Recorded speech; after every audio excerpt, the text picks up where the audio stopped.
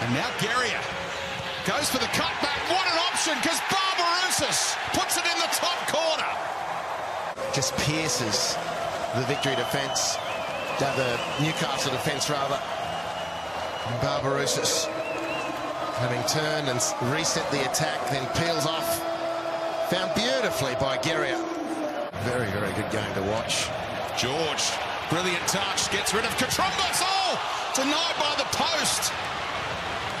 Getting in behind Koutroumbis, poor defending from Johnny Koutroumbis. Really, it must be said.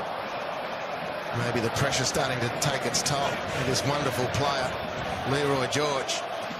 And he thrashed it goalwards. Given away by Nabbout. Risky play out of defence. Rhys Williams says, I'll have a crack. Too tight there. Ugarkovic. Look at the speed with the ball. And right through the middle goes Hoffman!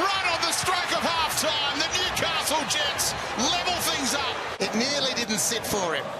But the defence punched it. That first touch needed correction.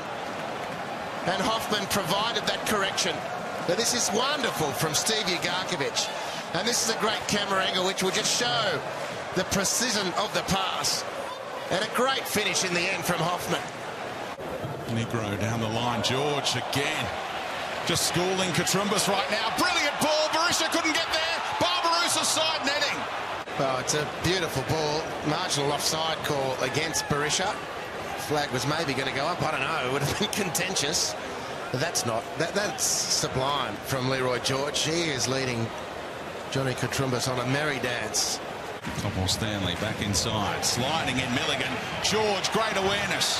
What's Berisha got in the tank here? Into open space. Besart, Berisha!